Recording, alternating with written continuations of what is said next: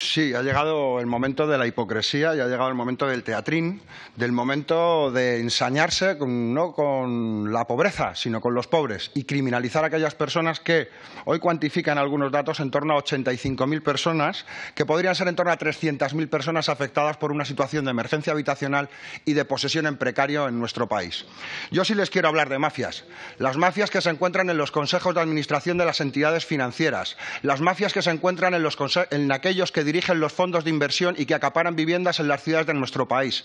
Las mafias que ponen planchas metálicas en los barrios de los trabajadores y que no pagan la, que no pagan la comunidad de propietarios, que tienen empresas dedicadas a, buscar la manera de no cumplir con sus obligaciones y que degradan el, el entorno urbano.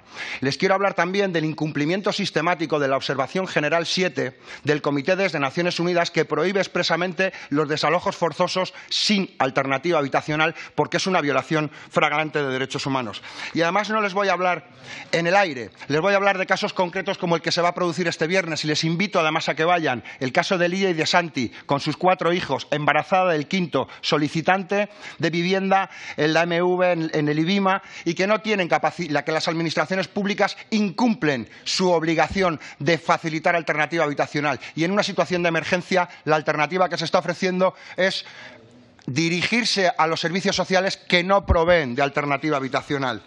Esto es lo que se está ofreciendo a la gente, agentes judiciales que se presentan a realizar desalojos encapuchados. En este país se están realizando desalojos con agentes judiciales encapuchados. En Majadahonda, recientemente, ahí lo tienen, el caso de las Casas Rojas.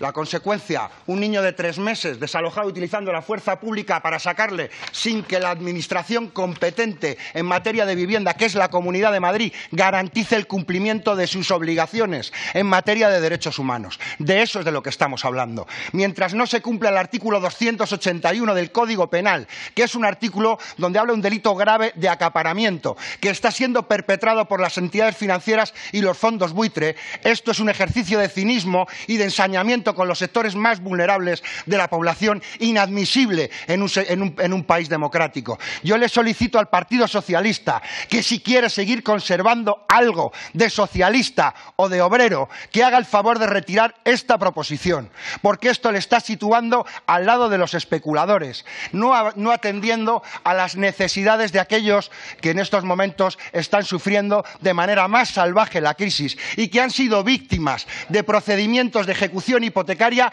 ilegales en muchos casos, ilegales en muchos casos, y que todavía no han, no han podido cumplir, no han podido ver cómo se cumplen los cuatro principios básicos ante las violaciones de derechos humanos, el principio de verdad, de justicia y de reparación. Ustedes en el Pleno dijeron que tenían la voluntad todos los grupos del cumplimiento de la Observación General 7, que es una obligación de nuestro país, prohibir los desalojos forzosos sin alternativa habitacional. De eso es de lo que estamos hablando.